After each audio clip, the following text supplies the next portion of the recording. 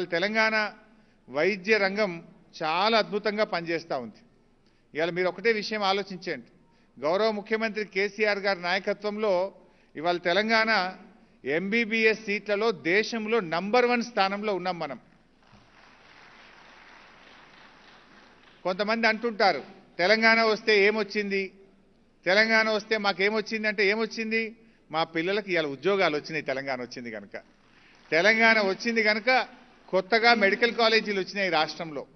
ఒకప్పుడు తెలంగాణ రాకముందు మొత్తం తెలంగాణలో ఐదే ప్రభుత్వ మెడికల్ కాలేజీలు ఉండేటి. కానీ ఈరోజు తెలంగాణలో ప్రభుత్వ రంగంలో మెడికల్ కాలేజీల సంఖ్య పదిహేడుకు చేర్చగలిగినాం. ఈరోజు మన దగ్గర ఎంబీబీఎస్ సీట్ల సంఖ్య చూస్తే ఆరు వేల ఆరు వందల పదిహేను ఎంబీబీఎస్ సీట్లు ప్రతి సంవత్సరం అడ్మిషన్ చేస్తూ ఉన్నాం. అంటే తెలంగాణ రాష్ట్రం ప్రతి సంవత్సరం ఆరు వేల ఆరు వందల పదిహేను ఎంబీబీఎస్ డాక్టర్లను ప్రొడ్యూస్ చేస్తూ ఉంది. ఇంకా నెక్స్ట్ ఇయర్ మరో ఎనిమిది కొత్త మెడికల్ కాలేజీలు స్టార్ట్ చేయబోతున్నాం. ఆ నెక్స్ట్ ఇయర్ మరో ఎనిమిది ప్రభుత్వ మెడికల్ కాలేజీలు స్టార్ట్ చేయబోతున్నాం. ముప్పై మూడు జిల్లాల్లో ముప్పై మూడు ప్రభుత్వ మెడికల్ కాలేజీలు తీసుకొస్తా ఉన్నాం. అంటే దీనివల్ల డాక్టర్ల సంఖ్య పెరుగుతుంది వైద్యం కూడా అందుబాటులోకి రాబోతుంది. బహుశా మీ ఫ్రెండ్స్ చాలా మంది అప్పట్లో ఎంబీబీఎస్ సీట్లు రాక రష్యాకో ఉక్రెయిన్కో చైనాకు పోయి చదువుకున్న వాళ్ళు ఉంటారు కానీ మన ముఖ్యమంత్రి గారి లక్ష్యం ఏంటంటే మన పిల్లలు ఉక్రెయిన్కో రష్యాకో చైనాకో అవసరం లేదు. మన పిల్లలు మన తెలంగాణలోనే చదువుకునే విధంగా ముప్పై మూడు జిల్లాల్లో ముప్పై మూడు ప్రభుత్వ మెడికల్ కాలేజీలు దేబోతా ఉన్నాం. ఎంబీబీఎస్ సీట్లు ప్రతి లక్షకు ఎన్ని ఎంబీబీఎస్ సీట్లు ఉన్నాయని చూసినప్పుడు తెలంగాణ రాష్ట్రం ప్రతి లక్షకు పంతొమ్మిది లక్ష జనాభాకు పంతొమ్మిది సీట్లతో దేశంలో ప్రథమ స్థానంలో ఇలా తెలంగాణ రాష్ట్రం ఉన్నది. We are number one in the country అంటే ఒక ఎనిమిదేళ్ళలోనే ఇన్ని కాలేజీలు పెట్టి భారతదేశంలోనే అతి ఎక్కువ డాక్టర్లను ప్రొడ్యూస్ చేస్తున్న రాష్ట్రం ఇవాళ తెలంగాణ రాష్ట్రం. For every one lakh population we are producing nineteen doctors per annum అది ఇప్పుడే ఇంకా రేపు రాబోయే రోజుల్లో ఇంకా పెరుగుతుంది. మన తర్వాత స్థానంలో పదిహేడు మంది డాక్టర్లను స్థానంతో కర్ణాటక పదిహేను మంది డాక్టర్లతో తమిళనాడు పది మంది డాక్టర్లతో గుజరాత్ తొమ్మిది మంది డాక్టర్లను ఒక లక్షకు ప్రొడ్యూస్ చేస్తూ మహారాష్ట్ర ఉన్నది. అంటే ఎక్కడ తొమ్మిది ఎక్కడ పంతొమ్మిది. Maharashtra is producing nine doctors per lakh but we are producing nineteen doctors per lakh కొందరు డబుల్ ఇంజన్ డబుల్ ఇంజన్ అంటారు. మరి డబుల్ ఇంజన్ వాళ్ళు తొమ్మిది చేస్తే సింగిల్ ఇంజన్ వాళ్ళం పంతొమ్మిది చేస్తున్నాం. ఏ ఇంజన్ బాగుందో మీరే ఆలోచించాలి. సో ఈ రకంగా ఇలా డాక్టర్లను చేసినాం. ఇంకో మీకు మంచి వార్త కూడా చెప్పాలి.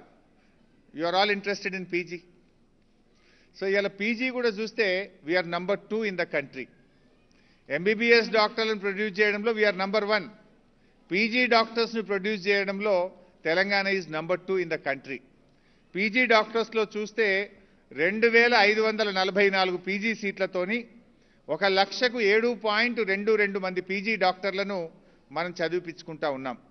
మనకంటే ముందు ఒక రాష్ట్రం ఉంది. బహుశా కొద్ది రోజుల్లోనే దాన్ని కూడా మనం బైపాస్ చేస్తాం. రాబోయే రోజుల్లో పీజీ సీట్లలో కూడా తెలంగాణను ప్రథమ స్థానంలో నిలుపుతామని మనం చేస్తా ఉన్నాం. Medical services. మెడికల్ సర్వీసెస్లో చూస్తే we are number three in the country దాంట్లో మీ అందరి సహకారం. ఇప్పుడు మీరందరూ డిపార్ట్మెంట్లో చేరారు. Your all our family members now మనందరం కృషి చేస్తే ఈరోజు మూడో స్థానంలో ఉన్న తెలంగాణను రాబోయే రోజుల్లో వైద్య రంగంలో కూడా దేశంలో ప్రథమ స్థానంలో అగ్రగామిగా నిలపడం కోసం మనందరం కలిసి కృషి చేద్దాం. మనందరం కష్టపడదాం. ఇవాళ వై ఇది మనం చెప్తున్నది కాదు. కేంద్ర ప్రభుత్వం నీతి ఆయోగ్ లెక్కల ప్రకారంగా పేద ప్రజలకు ప్రభుత్వ వైద్యం అందించే సేవల్లో ఇవాళ తెలంగాణ మూడో స్థానంలో ఉంది. కేరళ మొదటి స్థానంలో మహారాష్ట్ర రెండవ స్థానంలో మనం మూడో స్థానంలో ఉన్నాం. ఇంకా కొద్దిగా కష్టపడదాం. ఇంకా మనం ఇంప్రూవ్ చేసే ప్రయత్నం చేద్దాం. అంటే ఇవాళ ఎంబీబీఎస్ సీట్లలో తెలంగాణ రాష్ట్రం మొదటి స్థానం. పీజీ సీట్లలో తెలంగాణ రాష్ట్రం దేశంలో రెండవ స్థానం. పేద ప్రజలకు ప్రభుత్వ వైద్య సేవలు అందించడంలో భారతదేశంలో తెలంగాణ మూడో స్థానంలో ఉంది. అంటే ఇలా అన్ని రాష్ట్రాలు మన వైపు చూస్తున్నాయి. Even mortality rate mother and child mortality రేట్లో కూడా ఈ మధ్య తమిళనాడు మనకంటే ముందుండేది. ఇప్పుడు తమిళనాడు కూడా బైపాస్ చేసి తల్లి మరణాలను శిశు మరణాలను బాగా తగ్గిస్తూ భారతదేశంలో తెలంగాణ మూడో స్థానంలోకి వచ్చింది. గత సంవత్సరం తల్లి మరణాలు ఒక లక్షకు దాదాపు తొంభై మూడు ఉంటే ఇప్పుడు ఆ సంఖ్యను నలభై ఐదుకు తగ్గించగలిగాం. రేపు ఇంకా ఆ సంఖ్యను బాగా తగ్గించడంలో మీలాంటి డాక్టర్లు మీలాంటి డెడికేటెడ్ కమిటెడ్ డాక్టర్స్ మాకు దొరకడం మా అదృష్టంగా మేము భావిస్తా ఉన్నాం. అందరం కలిసి ఇంకా తల్లి మరణాలను శిశు మరణాలను తగ్గిస్తూ ఈ దేశంలోనే తెలంగాణను ప్రథమ స్థానంలో ఉంచడానికి మనందరం కృషి చేద్దాం.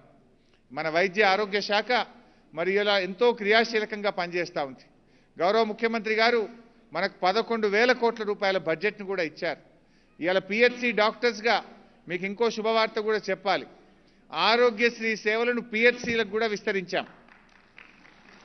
అంటే యాజ్ డాక్టర్స్ మీరు ఎంత ఆరోగ్యశ్రీ యూజ్ చేస్తే మీకు జీతంతో పాటు ఆరోగ్యశ్రీ కింద కూడా ఇన్సెంటివ్ డబ్బులు కూడా వస్తాయి మీ అందరికీ. సో దట్ ఈస్ మోర్ మీ ఎంకరేజ్మెంట్ పిహెచ్సి డాక్టర్లకు కూడా ఎంకరేజ్మెంట్ ఉండాలి. మీకు కూడా ఆరోగ్యశ్రీ అవకాశం ఇస్తే అటు ప్రజలకు లాభం జరుగుతుంది. డాక్టర్స్ కూడా ఇంకా మోటివేట్ అవుతారు. డాక్టర్స్ కూడా ఇంకా బాగా పనిచేయాలనే ఉద్దేశంతో ఇలా పిహెచ్సిలో కూడా ఆరోగ్యశ్రీ సేవలు విస్తరించాం. సో మరి మీ అందరు కూడా ఇంకా ఇంకా బాగా పనిచేయండి. ఇవాళ చాలా అదృష్టం. ఇవాళ రిక్రూట్మెంట్ అనేది ఆరు నెలల్లోనే పూర్తి చేశాం. విత్ ఇన్ సిక్స్ మంత్స్ ఇవాళ గౌరవ ముఖ్యమంత్రి గారు మాకు ఆదేశం ఇచ్చారు తొందరగా డాక్టర్లను నియమించండి అని.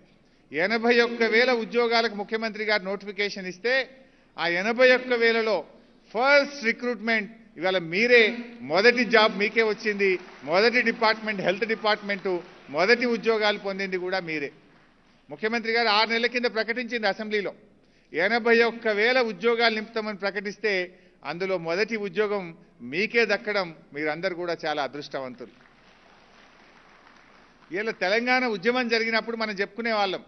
నీళ్ళు నిధులు నియామకాలు అనే ఒక నినాదం మీద తెలంగాణ ఉద్యమం జరిగింది.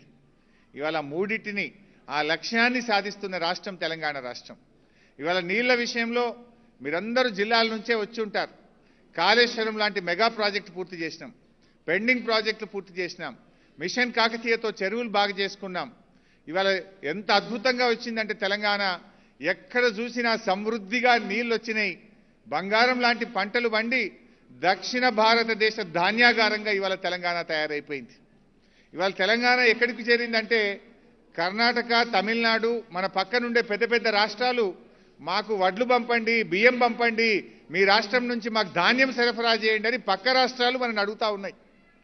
మన అవసరాలు తీరగా మన దక్షిణ భారతదేశంలోని పక్క రాష్ట్రాలకు కూడా అన్నం పెట్టే స్థితికి ఇలా తెలంగాణ చేరిందంటే కృష్ణా గోదావరి నదులలో మన నీళ్ళు మనం మలుపుకోగలిగినాం కనుక ప్రాజెక్టులు కట్టుకోగలిగినాం కనుక ఈరోజు అంత అద్భుతంగా ధాన్యాగారంగా మనం మార్చుకోగలిగినాం. అంటే తెలంగాణ ఉద్యమంలో ట్యాగ్ లైన్లో ఉన్న మొట్టమొదటిది నీళ్ళు. ఆ నీళ్ళు మనం సాధించుకోగలుగుతా ఉన్నాం. నిధులు ఇలా నిధులు వచ్చినాయి కనుకనే అంటే సంపద పెంచిండు మన ముఖ్యమంత్రి గారు పేదలకు పంచిండు. ఎందుకు ఆ నిధులు వచ్చినాయి కనుకనే ఈ ప్రాజెక్టులు కట్టగలిగాం. కొత్త జిల్లాలు ఏర్పాటు చేసుకోగలిగాం. జిల్లాకు ఒక ప్రభుత్వ మెడికల్ కాలేజీ పెట్టగలుగుతా ఉన్నాం. ప్రతి నియోజకవర్గానికి వంద పడకల ఆసుపత్రి కట్టగలుగుతున్నాం. ప్రతి జిల్లాకు నర్సింగ్ కాలేజ్ పెట్టగలుగుతున్నాం. గని గతంలో ఎందుకు కాలేదు మరి? అరవై ఏళ్ళ సమైక్య రాష్ట్రంలో మూడే మూడు ప్రభుత్వ మెడికల్ కాలేజీలు వచ్చినాయి. అరవై ఏళ్ళలో మూడు వస్తే ఆరేడేళ్ళలోనే ఆరేడేళ్ళలోనే పన్నెండు మెడికల్ కాలేజీలు పెట్టినామంటే మన నిధులు మనకు దక్కినాయి కనుకనే ఇవాళ మనం ఇంత బాగా అభివృద్ధి చేసుకోగలుగుతా ఉన్నాం.